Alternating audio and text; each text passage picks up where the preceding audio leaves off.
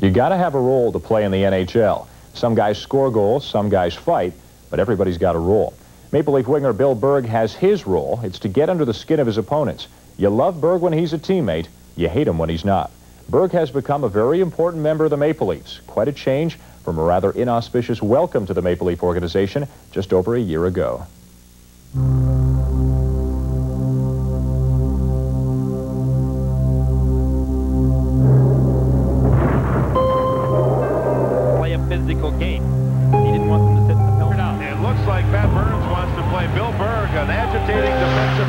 Against Adam. Well, I, I had started the year, I was on a pretty good roll, and I thought things were going great. Shot coming in.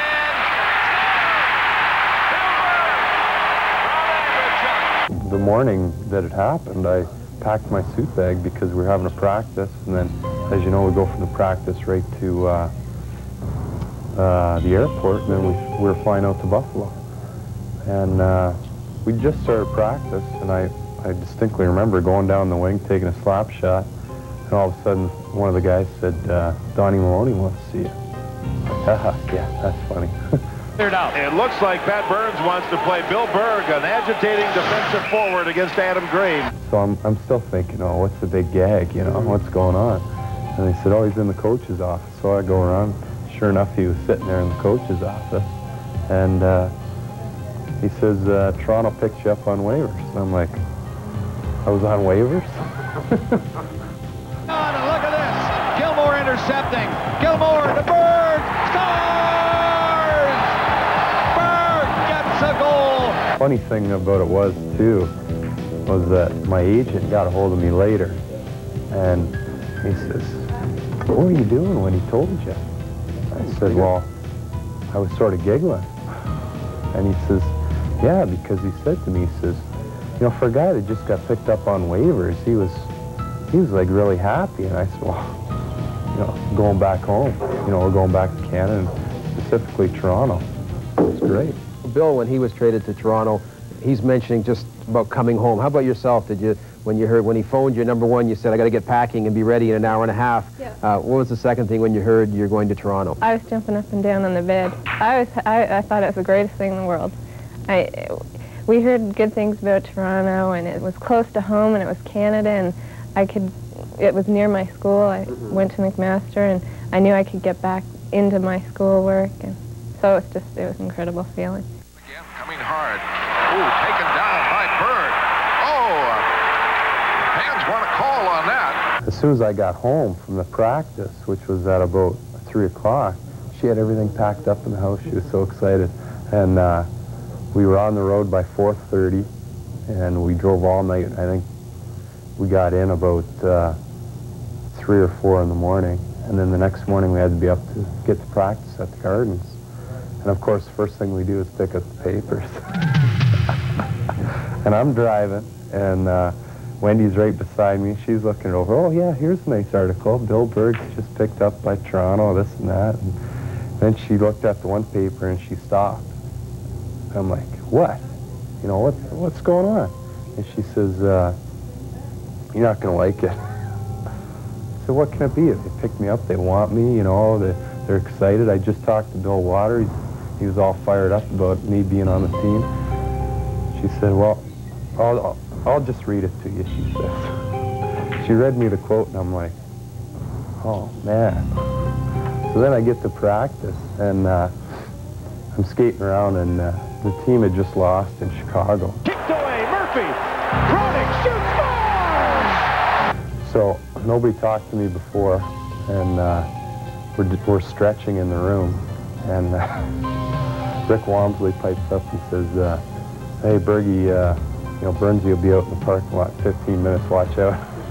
on top of the quote, then out on the ice, it was like he was so upset about the game, I thought, wow, what did I get myself into? But, you know, I went into his office afterwards, and he, he actually apologized about the quote, and, uh, you know, said he was sorry about it. And uh, next, he explained, uh, you know, what he wanted out of me, and he was, he seemed so personable and everything. It, it was, it was a really nice meeting.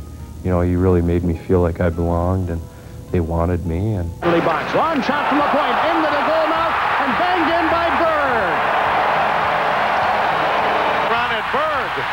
Gilmour and Bill Berg get into a scrap. Clear. Bird shot. Nowhere near the net. Rouse picks it up. Center net. Score! Bill Berg! For a while, I've been thinking that I'd love to score two goals in a game, and uh, it just hasn't happened. And then scored the first one, and I was thinking, boy, it'd be great to get another one. Ahead to Zezel. Berg to Zezel. Berg again.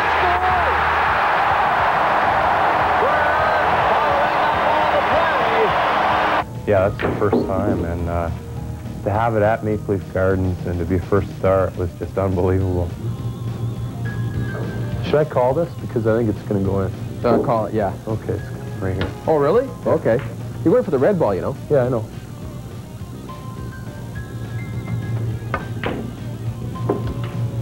Holy mackerel.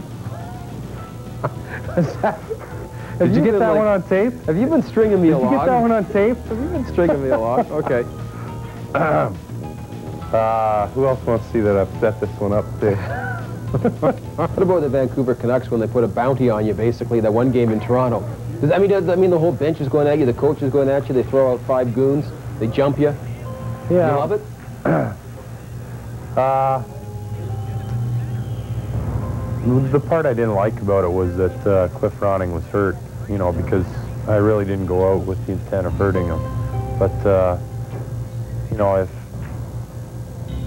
I, I, I really don't think that uh, he was prepared for the type of game that was being played that night.